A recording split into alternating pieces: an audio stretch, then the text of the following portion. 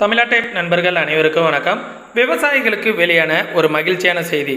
ஐம்பது சதவீத மானியத்தில் உர மானியம் பெறுவதற்கு விவசாயிகளுக்கு அழைப்பு விடுக்கப்பட்டு இருக்கிறது இதை விவசாயிகள் எவ்வாறு பெறுவது எந்தெந்த மாவட்டத்தில் உள்ளவங்களுக்கெல்லாம் கிடைக்கும் அப்படிங்கிறதுக்கான முழு விவரங்களை தான் இந்த வீடியோவில் உங்களுக்காக சொல்ல போகிறேன் வீடியோ வந்து ஸ்கிப் பண்ணாமல் பாருங்கள் பார்த்துட்டு உங்களுடைய நண்பர்களுக்கும் இந்த தகவலை வந்து உடனடியாக ஷேர் பண்ணிவிடுங்க.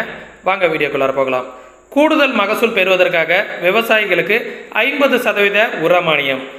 நெல் ரகங்கள் கூடுதல் விளைச்சல் பெற துத்தநாக சல்பேட் ஜிப்சம் போன்ற உரங்கள் மானியத்தில் வழங்குவதற்காக வேளாண் மற்றும் உழவர் நலத்துறை இணை இயக்குனர் சுரேஷ் அவர்கள் இதற்கான அறிவிப்பை வந்து வெளியிட்டிருக்கிறார்.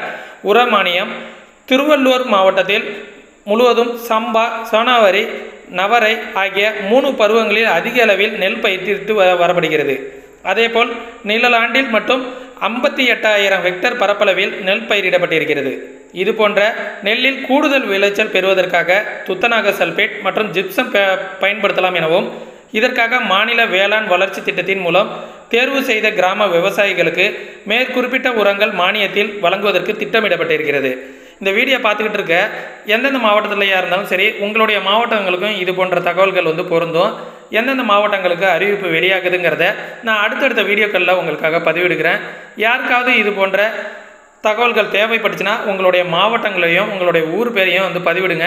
இது போன்ற மானிய திட்டங்கள் உங்களுக்கு வந்துச்சுன்னா நான் வந்து தெரியப்படுத்துகிறேன் இதற்காக அனைத்து வட்டார வேளாண் விரிவாக்க மையங்களிலும் துத்தநாக சல்பேட் மற்றும் ஜிப்சம் உரங்கள் போன்ற இருப்பு வைக்கப்பட்டிருக்கிறது. விவசாயிகள் வழங்குவதற்காக இதற்காக இருப்பு வைக்கப்பட்டு விவசாயிகளுக்கும் அழைப்பு விடுக்கப்பட்டிருக்கிறது.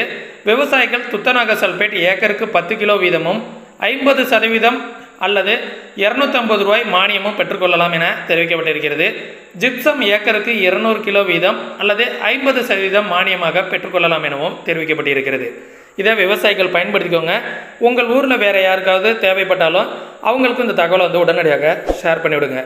மேலும் இது போன்ற அரசு சார்ந்த தகவல்கள் மத்திய மாநில அரசுகளோட நலத்திட்ட உதவிகளை உடனுக்குடன் தெரிஞ்சுக்கணுன்னா நம்ம சேனலில் வந்து தொடர்ந்து இணைந்திருங்கள். நன்றி வணக்கம்.